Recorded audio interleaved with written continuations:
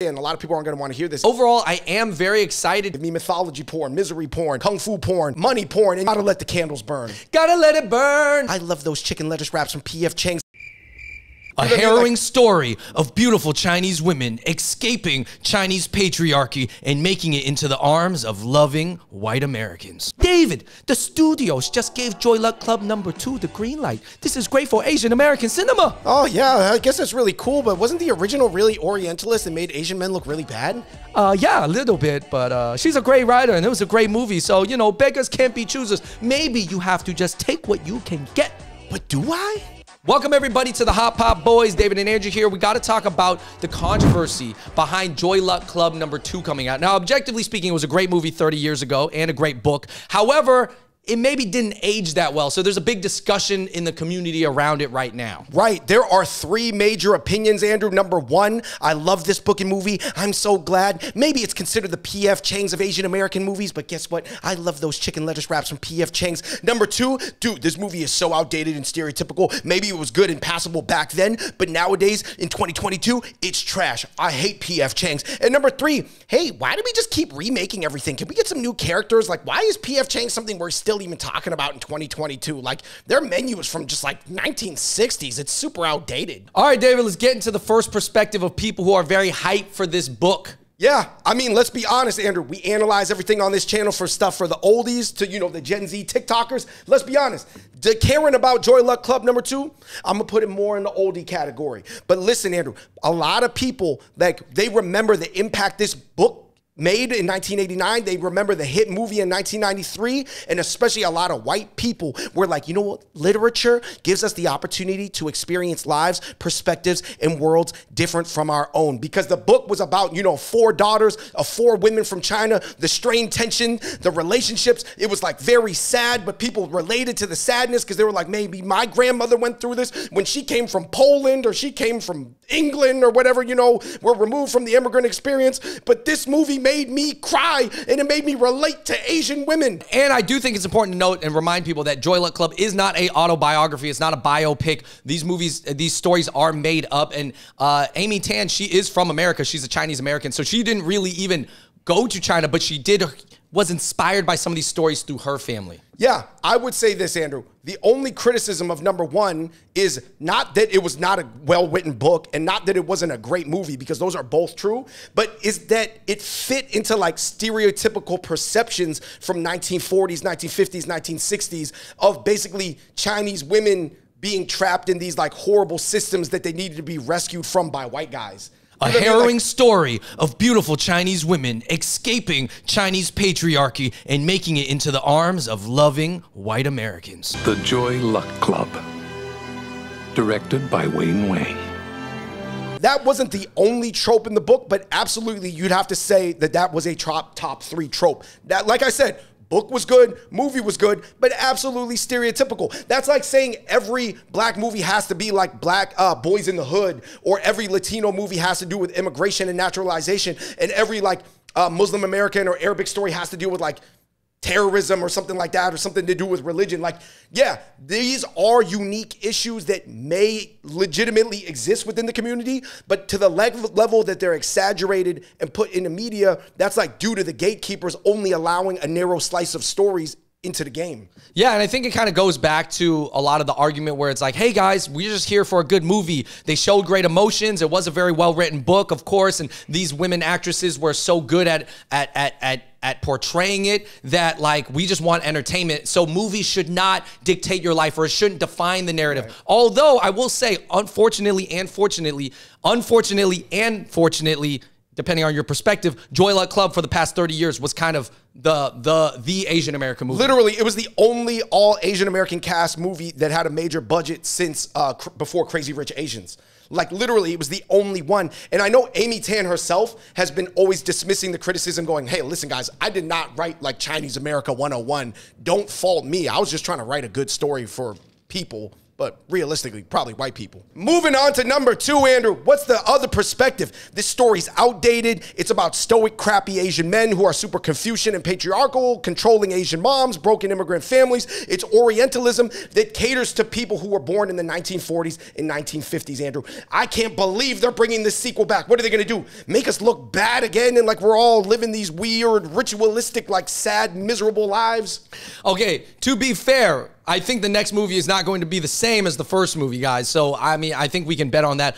I do think that this just kind of falls into one of the three main categories of Asian stereotypical movies that they want in America. For example, there's misery porn, which is what Joy Luck Club would fall under. There's money porn, which is Crazy Rich Asians and House of Ho and Bling Empire. And then there's mythology porn, which is always these Chinese stories about this high school like uh, like who's struggling with their identity, and then they get some like ancient power from a Shaolin monastery, and then Sun Wukong, the Monkey King, comes back into their life and influences them, and then makes them like the captain of the basketball team or something like that. That's like American-born Chinese. That's that movie. Yeah.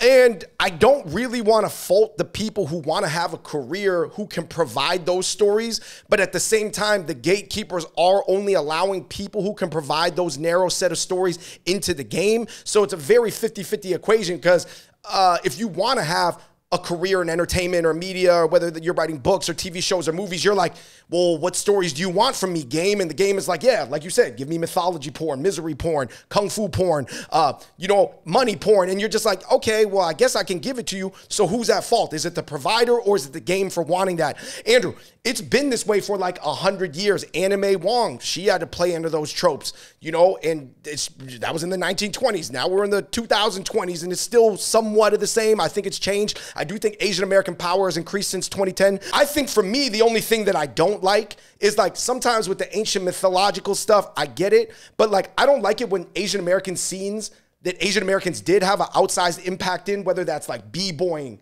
you know, the dance culture or the JDM scene. And when they make movies about those worlds, they often take Asians out or give them minimal exposure. I mean, I guess the final thing I'll say against this is that, like, man, we live in Western society, we live in American society. Obviously, Asians are like probably the least powerful group in the entertainment game. So, to some extent, it's tough to say, and a lot of people aren't going to want to hear this. It is what it is, right?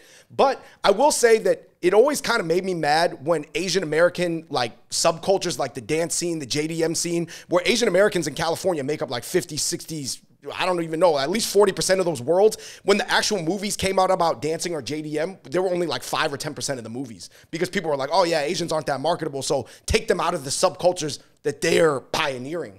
You know what it kind of feels like right now? Because there's so much content from Asia. So if you want to see fully Asian faces in all different aspects and different movies and different stories, then you can watch a lot of the Asia content, right? Coming out of Korea, China, uh, Hong, wherever, right? Vietnam's Singapore, Vietnam, Philippines, Indonesia, right? They have a whole bunch of movies. So I guess in India too, right? You can go to all those movies and see Asian faces. So I guess do you think in a way it almost leaves a space for American movies to be more stereotypical because you have the Asian movies to balance out with right it. like if you want to watch a movie about asian break dancers and asians actually doing something that's like actually modern and rooted in reality just watch an asian movie yeah, so I think like I don't know. I'm not sure. Maybe maybe because Joy Luck Club and Amy Tan, they are so strictly to be honest like Chinese American stories.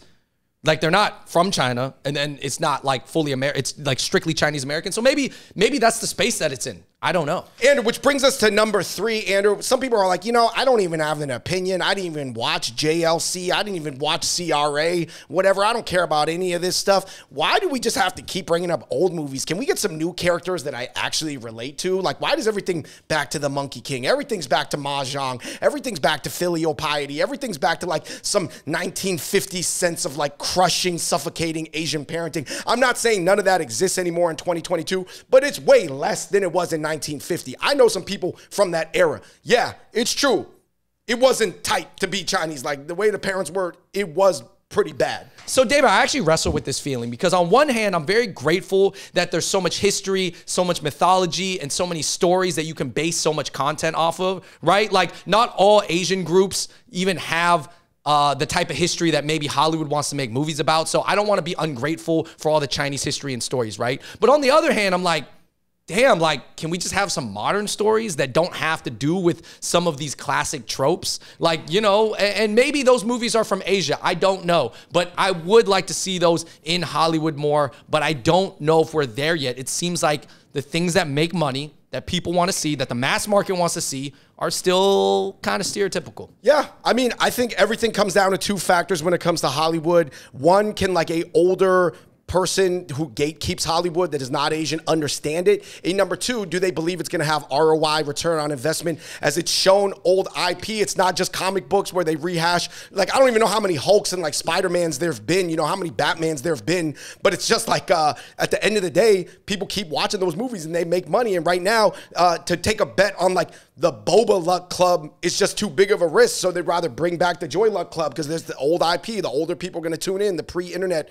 pre iPhone generation. Hey, they are shooting a pilot about ABGs.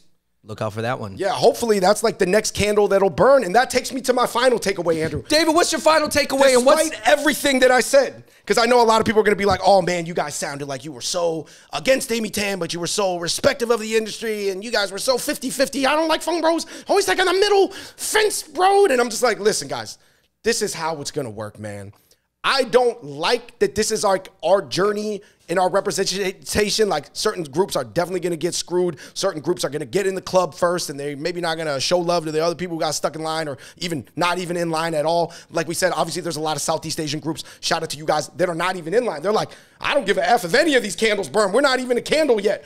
But I will say this: you got to let the candles burn. gotta let it burn? And it's unfortunate, man. You got to let the candles burn. And it's tough because it's like you're G. Let's say you're a real G, right?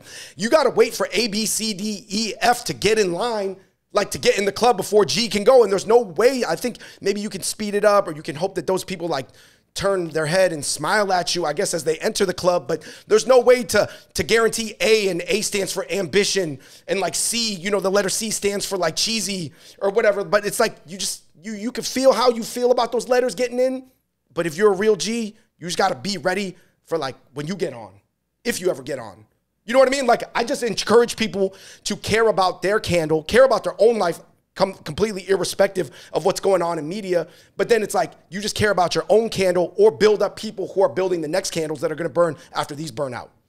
Yeah, and I want to remind everybody in 2022, movies don't define you guys. There's so many movies, shows, clips, TikToks, so much content, streamers out there that you could be influenced by. I do think 30 years ago, movies meant a lot more. So that's why maybe Joy Luck Club, it was such kind of a, a punch in the face for some people, depending on how you, you know, interpreted the, the film, right? And but nowadays, don't let this define you guys. So it, it doesn't really matter how Joy Luck Club 2 is. First of all, I think they're going to update it. I don't think it's going to portray Asian men in that way. Although, based off the ending of the first movie, there's going to be obviously a lot of Hapa grandchildren, and there has to be because they got with white guys in the end. So I, I guess you know that's that's going to be that. But uh, that's not really like offensive, and there's no problem with that. But I'm just saying.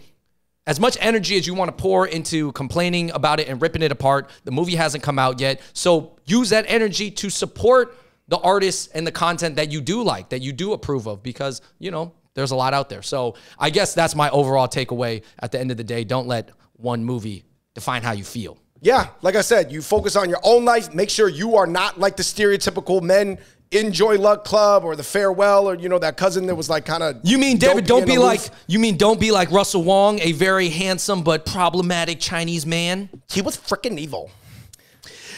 All attractive men are freaking evil. Yeah, all attractive men. Are, uh, Russell Wong's actually a Hapa who looks like a four. Wow. So all great looking Hapa men are. I'm just kidding. Shout out to Russell Wong. Uh, uh, uh, yeah. met him before. He's a nice guy. But I will say this, man. At the end of the day, guys, the media game it ain't what it used to be. So you know, just use it as another thing. But of course, you know the Asian American community, like we said, always fighting about things. They're gonna have the debate on Reddit, TikTok, Instagram, et cetera, et cetera. We're just here to break it down. All right, everybody. Thank you so much for watching that honest discussion about Joy Luck Club 2. Um, again, you know, you should give it its flowers. It was a great movie. Of course, it probably didn't age well considering the conversations and where the Asian community is at right now. So I can only hope that they update the story and it touches on boba and ABGs and becoming TikTok creators in the movie, maybe. I don't know. Uh, but please let us know in the comments down below what you thought uh, about this discussion and what you look forward to seeing from other Asian American films and and and even Joy Luck Club 2 or what you thought about Joy Luck Club 1. Was that a great movie? Did you really like it? Would you watch it again? Or are there major problems with it now? Uh, let us know in the comments down below. Please hit that like button, subscribe to our channel, and check out other episodes of the Hot Pot Boys. And until next time, we out. What are your favorite types of porn, Andrew? Mine are misery porn, money porn, and mythology porn. Those sound like those should all be movies that get made. And shows. All right, everybody. Overall, I am very excited to see Joy Luck Club 2, only in the fact that, you know, I'm interested to see what they do given how the climate has changed and there's all these different issues, everything from Asian hate to all the sexualization, fetishization of Asian women to the emasculation of Asian men. Those conversations have come to light so much more in the past 30 years. So I guess I am interested to see what they do with the story. You let me know if you agree in the comments down below. And until next time, we out. Peace.